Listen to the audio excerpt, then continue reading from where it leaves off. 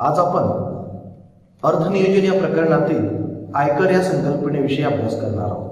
मागील घटकात आपण कर म्हणजे काय आणि करांचे प्रकार अभ्यासले होते. करांच्या प्रकारामध्ये प्रत्यक्ष आणि अप्रत्यक्ष कर असे दोन प्रकार आपण पाहिले होते.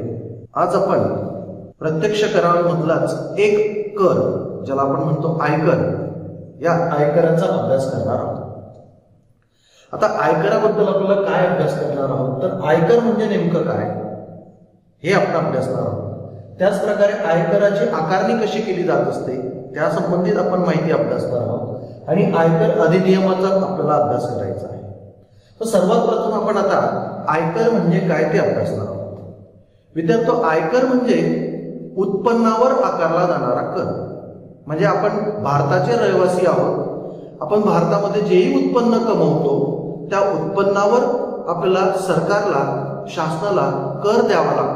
त्याला आयकर असे म्हणतात. आता मग तुमच्या मनात एक प्रश्न असा तयार होईल की एखादी व्यक्ती जर वर्षाला पन्नास हजार रुपये कमवत असेल तर त्यालाही त्याच्या उत्पन्नावर आयकर द्यावा लागेल का? तर नाही. त्यासाठी आयकर आकारणीसाठी शासनाने काही नियम ठरवून दिले मग आयकरची आकारणी कशी केली जाते? की एखाद्या व्यक्तीचे म्हणा एखाद्या संस्थेचे म्हणा किंवा एखादे कायदेशीर उद्योगधंदा असेल यांचं भारतातले उत्पन्न जर आयकर अधिनियमान्वये ठरलेल्या मर्यादेपेक्षा जास्त असेल म्हणजेच काय? शासन आयकराचा उत्पन्नाची मर्यादा ठरवून देत असतं. जर ते उत्पन्न त्या मर्यादेच्या वर गेलेलं असेल तर त्या उत्पन्नावरच आयकर आकारला जात असतो. आणि ती आयकर अधिनियमाच्या आधारे ठरवलेलं असतं.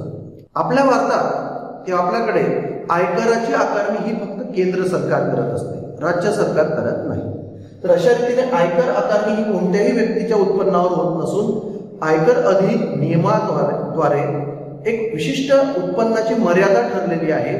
त्या मर्यादेपेक्षा अधिक उत्पन्न जर कोणाचं असेल तर त्याचीच त्यालाच आयकर हा भरावा लागत असतो.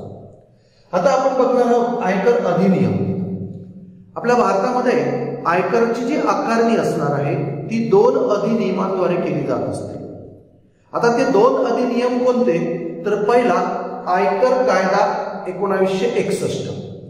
आयकर कायदा एकोणावीसशे एकसष्ट म्हणजे ह्या एकोणावीसशे एकसष्ट या या कायद्याची सुरुवात एक एप्रिल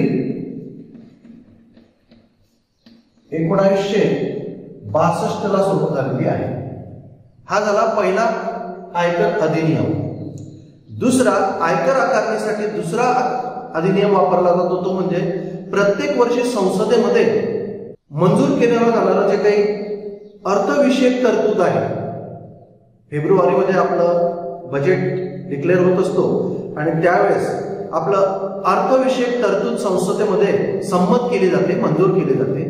तो जो कायदा आहे तो कायदा आणि आयकर कायदा एकोणीसशे एकसष्ट ह्या दोन कायद्यांच्या आधारे आयकरची आकारणी भारतामध्ये केली जात असते.